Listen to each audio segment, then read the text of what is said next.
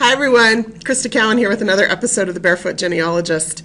Today is tax day here in the United States, April 15th, and so today we're going to talk about tax records. Like you, your ancestors had to pay taxes for a variety of reasons. And so tax records, tax lists, tax index, indexes, all of those things were created, um, and all of those things can serve a genealogical purpose. So today we're going to talk about the purpose of those records genealogically, where on Ancestry.com and some other places that you can find them, and then how to work with them or what to do with them. Let's go ahead and dive in. So let's first talk about um, why you want to use tax records, what they're going to do for you genealogically. Um, the first thing is uh, that people were rarely missed on tax records. So, for example, where you might be searching through a census and the information may or may not be complete, tax records are almost always complete for their purposes. Um, the the people who were looking for the for the money, the government was not going to miss people in those particular records, and so you're going to find that they're pretty um, pretty complete. They also predate census records and fill in the gaps between the census. So here in the United States, the federal census is only taken every 10 years. We began taking the census here in the United States in 1790, and we've taken it all the way up through the current day. However, only the last, um, there's a 72 year privacy law, and so the latest available census is 1940. So we have censuses available from 1790 through 1940, with the exception of the 1890 census, which unfortunately was destroyed in a fire. And so we have these census records every 10 years. And that's great. They do they're a hugely valuable resource. But a 10-year gap is a long time. And so tax records help fill in that gap. Also, prior to 1850, only the head of household was listed on uh, the census record. So it didn't list every member of the household. So you could have three or four um, adult males living in a household. Maybe it's a father and some of his sons who haven't married yet. Or maybe it's a man and his wife and his children and his father in law and a brother in law, right? You don't know um, what makes up or who makes up that household because only the head of household is listed. And so these records not only help us fill in the gaps in between censuses, but they predate um, they certainly go back before 1850 when every when every member of the household started being enumerated, and they even predate 1790 when the U.S. federal census started being taken. And so they're really valuable because of that. They also, um, like I mentioned, will include uh, anybody who was of age, any male who was of age in a household, whereas the census prior to 1850 will only include that head of household. Also, um, men were first taxed when they were about when they were 21 years old. Um, that's a pretty consistent law in the places where taxes were levied, and so that's important information to know because what's going to happen is you're going to be going along looking through tax records for a particular county, say, and you're all of a sudden going to discover that this man shows up. Well, that's a pretty big clue that one of two things has happened. Either he's come of age, meaning he's turned 21, which means now you have a pretty good clue of his age or his approximate birth year, or he's just moved into or purchased property in that area. So these tax records, again, serve a really good clue, as really good clues um, to what's happening with these families that you're researching. Another reason why tax records are so important for genealogy is they allow you to really quickly look and see if there are multiple people with the same name in the areas that you're researching. One of the things that I want you to start thinking more about as you do family history research is less about name based research and more about location based research. We get very stuck in the idea that I'm looking for this person. But what we need to also be doing is looking at this location. So, for example, if your family is from Frederick County, Virginia, I would hope that you would search for anybody with that surname in that county. I do those kinds of searches constantly in tax records, in censuses, in vital records, in military records. I want to know anybody who has that surname, even a common surname, in a specific location. Let me give you an example. Last night on our Facebook group, I was working with a gentleman, or several of us were working with a gentleman who was looking for a Lewis family um, in a particular county. I think it was Boyle County, Kentucky. Now, you would think that with a name like Lewis, I think the first name was Henry, Henry Lewis, that you're going to have thousands and thousands of search results. Well, the reality is I just put in Lewis into the search into the search form, Lewis with a lived-in location of Boyle County, Kentucky. I marked both of those exact and the man I was looking for came up on the first page of search results for every one of the censuses that we were looking for him in. That's the kind of things that I want you to start thinking about as you do your searches. Uh, very often we throw way too much information at the search engine. And this is a way to just say, you know what, I just want to see these people in this specific location. Use that lived in field on the advanced search form.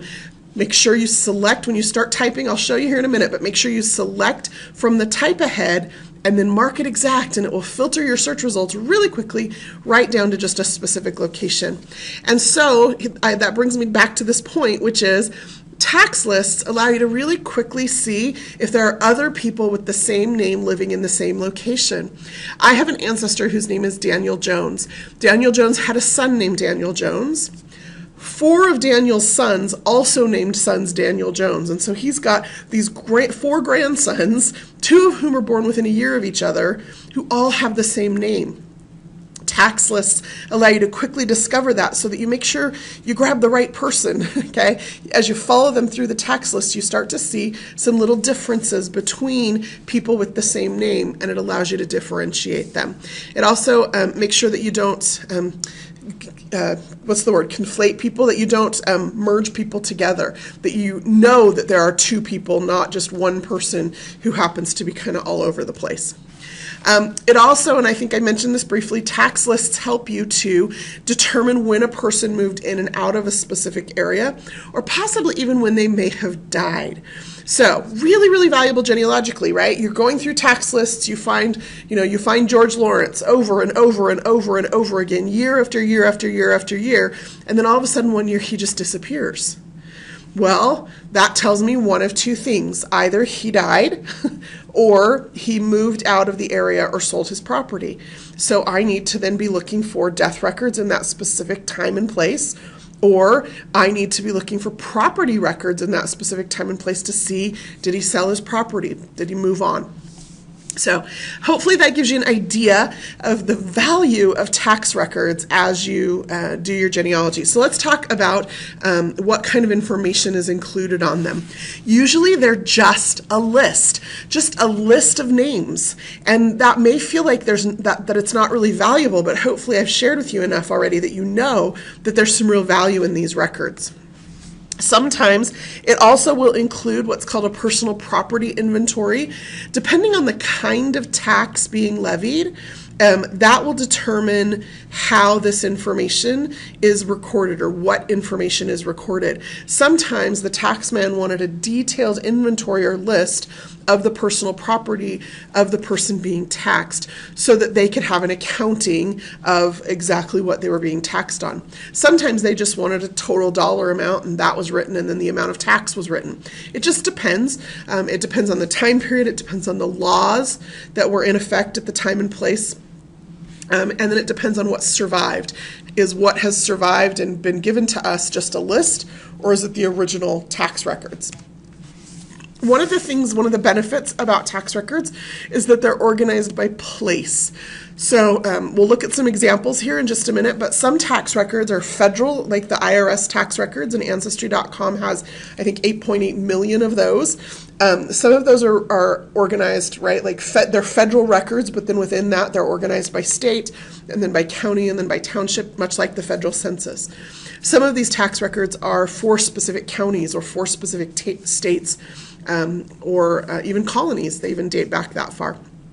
So, um, understanding how the records are organized helps you understand what it is that you're looking at, and very often can help you understand where these people are living. Always look for other family members and pay attention to neighbors.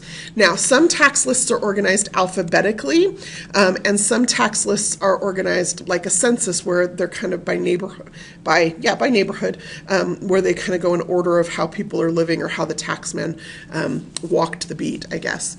And so, look and see how the you know sometimes you have to go back and forward a couple of pages to get an idea for how the records are organized. If they're organized alphabetically, look for those other surnames, other people with the same surname, just they should be right there, right? If they're organized by neighborhood, again, that gives you a good idea, just like a census of who's living where and who might be connected. Pay attention to those neighbors.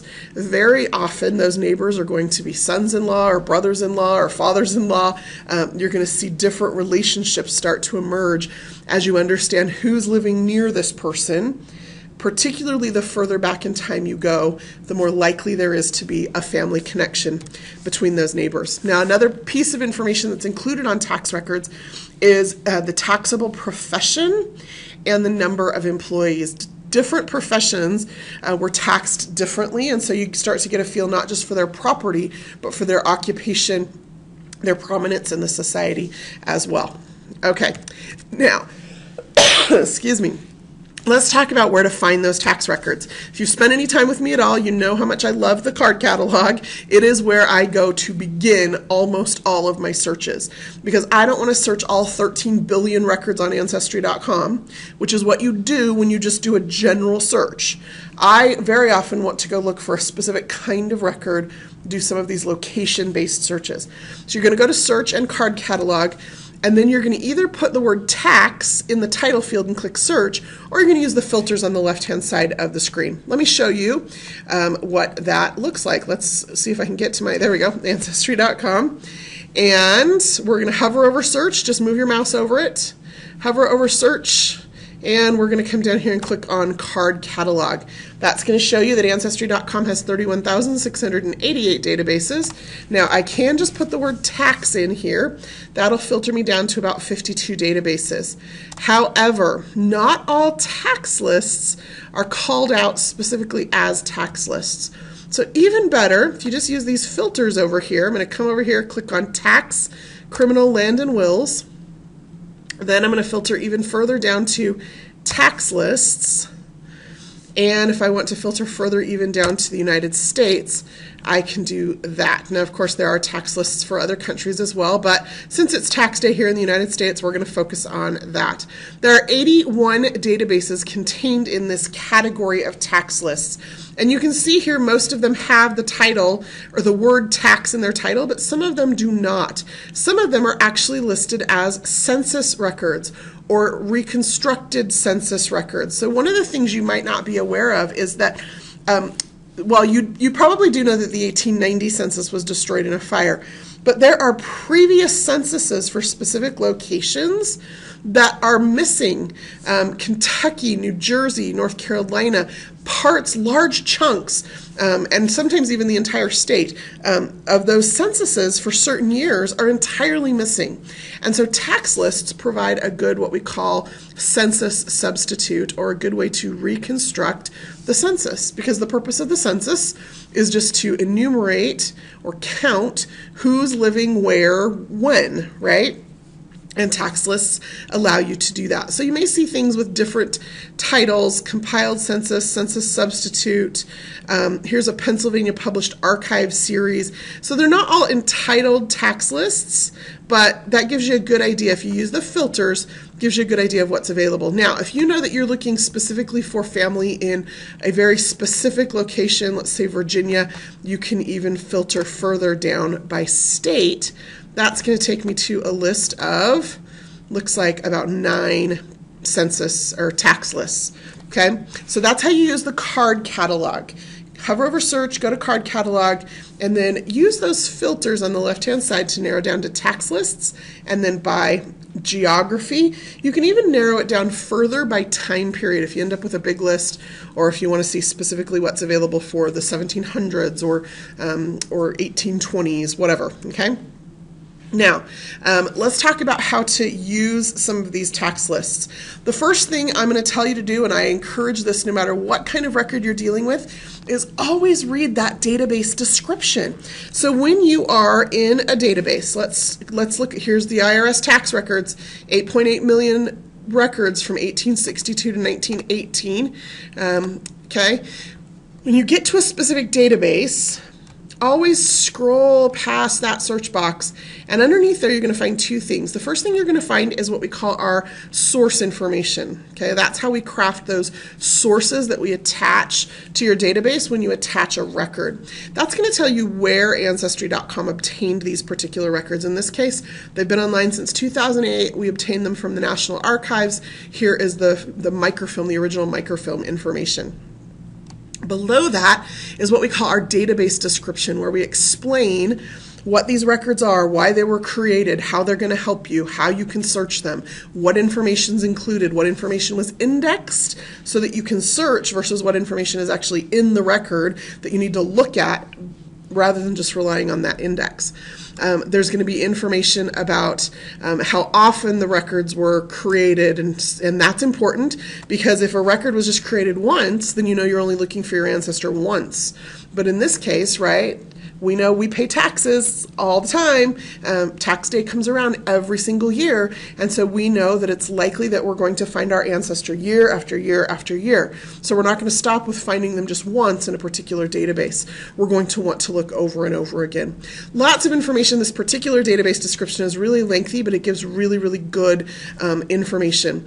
Right down here near the bottom, though, and this is important, there are a lot of databases on Ancestry that contain this information. We've given you specific specific coverage years for each state.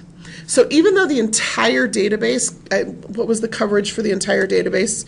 Um, 1862 through 1918. So the whole database, the earliest record is 1862, the latest record is 1918. But what you're going to notice here is that not every state uh, has all of those years accounted for. And there are a lot of reasons for that. Sometimes the records were destroyed before they were turned over to the federal government, accidentally or intentionally. Sometimes those records, um, you know, only some of the records were turned over to the federal government, and some of the records are still held at a state archive or a state library, which is important to know because then you can contact that state archive or that state library and see if you can get access to additional years.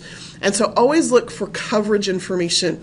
Where we know explicitly what it is, we'll include that in the database description. And so you can see here, if I was looking, for example, for family from Georgia, there's only two years included 1865 and 1866 so when i come up here and i do my search i know what to expect okay? So let me just give you a quick search example um, I'm going to reset all of my filters here so that you can see how I do this from the beginning. Hopefully you're using the advanced search form. That's going to give you always, always, when you search anything, use the advanced search form. That's going to give you the most control over your search. It's also going to give you the best search results. So I'm going to come in here and I'm going to type in George Lawrence and I know that he lives in Georgia, okay? Those are the only three things. I'm, you do not have to fill out every field, okay? Now, I'm going to check march, match all terms exactly. You'll notice that changes my search filters here underneath each field to restrict to exact or adds a little checkbox. Let me just show you that again, right? You just toggle it on and off, okay? Now, some of these um, I'm actually going to adjust, and here's why. Um, when you search by a name, one of the things that I have discovered in some of these government records in particular is that sometimes they'll record them by name, sometimes they'll record them by a nickname or an abbreviated form of their name, and sometimes they'll record them just by their initials.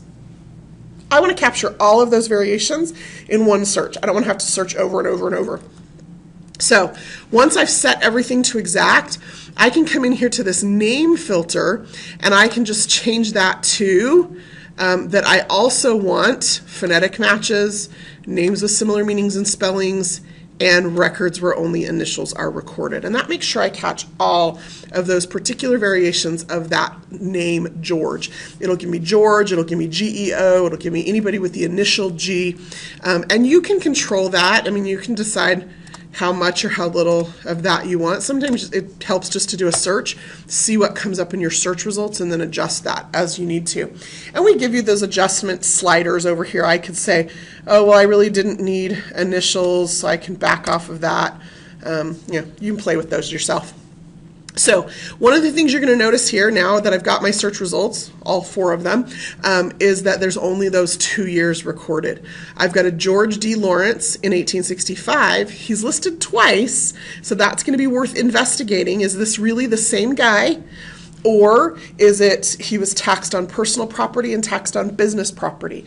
And if you look at 1866, it looks like that's very likely what happened. Here he's listed as George D. Lawrence, here he's listed as George D. Lawrence and Company.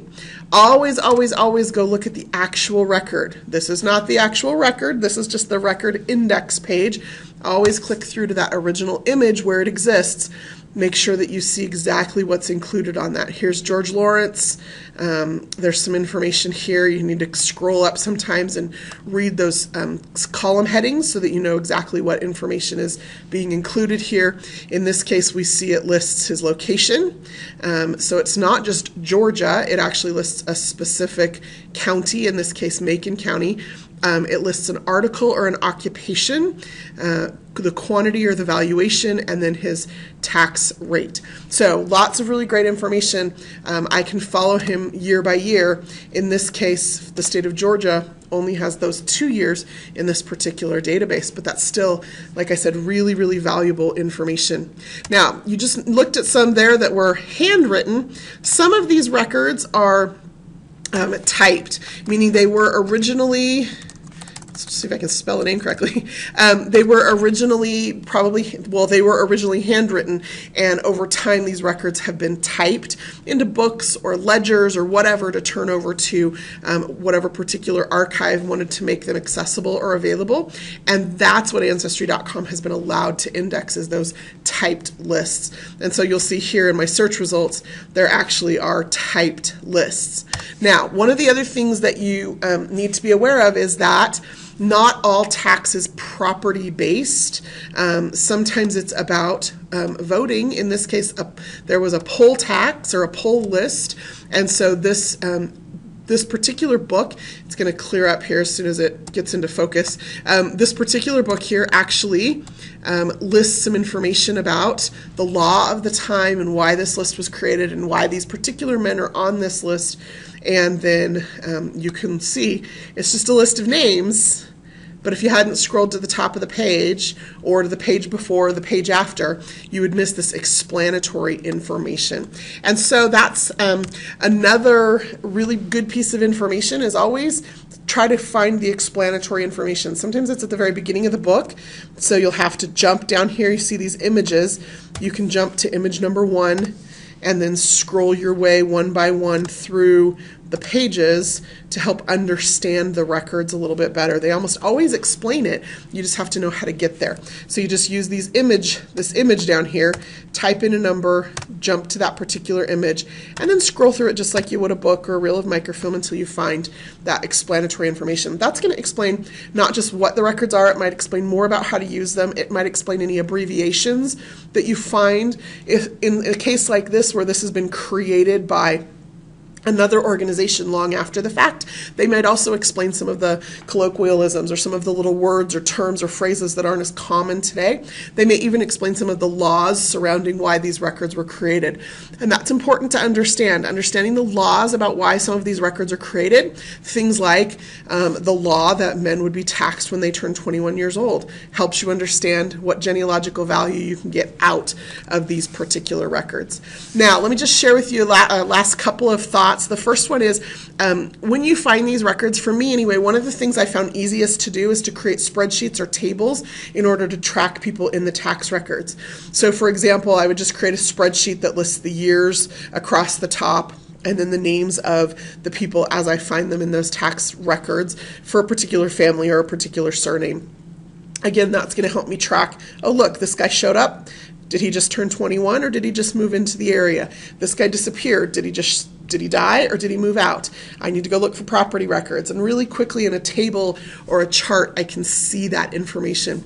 It also helps me start to see relationships between people. If I've got 20 men with the same last name living in the same county, that could be, you know, a grandfather, his sons and his grandsons. It could be two cousins and their children. Um, but starting to track some of this information and seeing those men, particularly the men with the same names, helps me kind of start to sort through them all. So I use spreadsheets um, to do that more often or tables um, in, a, in a program like OneNote. Okay, a um, couple of bonus tips. Um, always jump to the beginning of that tax book, learn more information. One of the things you're also going to discover sometimes about the laws is you learn who is exempt from particular taxation. Um, always read those column headings, so always scroll up to the top of the page. If they're not there, sometimes you have to go back several pages. Um, like old tax record or like old census records, sometimes old tax records, the the tax man only wrote the headings on the first page and then you know he recorded 50 or 60 pages worth of tax information in columns but the headings are back at the beginning of the book. Um, also pay attention to whether it's an alphabetical list or whether it's not. If it's not alphabetical okay, then you're going to need to jump back out to the search and make sure you search for all surnames in that location, all of the same surname in that location. If it is alphabetical, um, that's a little trickier because you don't know who the neighbors are, but you usually will then see the family all together if they're living in the same community. Now, if they're living in the same county, that doesn't necessarily always mean they'll all be together because sometimes those tax lists get broken up by specific community. Well, that is all I have for you today on tax day. Hopefully you've got your taxes taken care of and you can go dig a little bit more into the tax records of your ancestors. Lots of really great genealogical information to be discovered from these lists of names that help us know when and where people lived, when and where they died, um, and how they managed their lives and their property. Until next time, this is Crista Cowan. Have fun climbing your family tree.